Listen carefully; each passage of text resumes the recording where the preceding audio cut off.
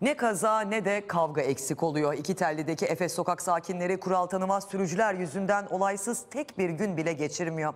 Bıktık diyen esnaf bakın ne öneriyor.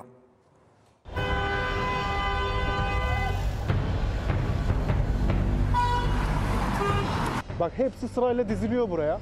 Yani buraya bir çare bulunması lazım. Beyefendi ters yöne girdiniz, çarpışıyordunuz. Ya çeksene şunu var çek. Gün içinde burası en az 3-4 defa tıkanıyor. Yine birisi daha ters yöne giriyor. Burası ters yön.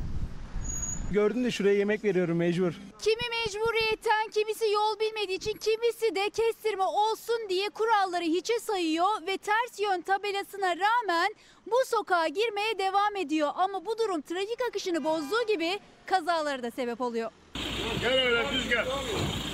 Mesela görüyorsunuz abi ben bu adamlara gün içinde de uyarırım abi girmeyin diyorum. Şampiyon sana ne kardeşim diyorlar. Her gün burada bizim araçlarımıza çarpıyorlar. Mecbur geri geri çıkmak zorunda kaldınız.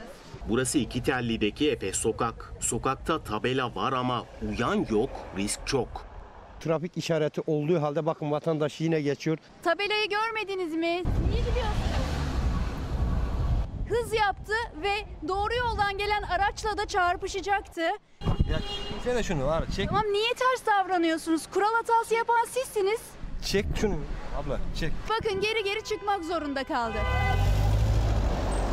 Yine birisi daha ters yöne giriyor. Tabelayı görmediniz mi? Görmedim bir de devamlı alışkanlığımız var aynı yere park ettiğimiz için. Belediyenin zabıta aracı bile bunu yapıyorsa diğer araçları zaten düşünemiyoruz. Akşama kadar burada bekleseniz zaten günde 20 kere kavgaya şahit olursunuz. Ters yöne girerek kural tanımayanlar yüzünden esnaf araçlarını koruyabilmek için bakın böyle kaldırımlara araçlarını park ederek aslında başka bir kaosa yol açıyor. Ters yöne gelen vatandaş direkt otomatikman çamurluya ezmiş. Aracımız artık park etmeye korkar olduk. Ters tabela koymak yerine buraya kapan koysalar şu, şu zamana kadar çoktan bu sorun çözülmüş olurdu.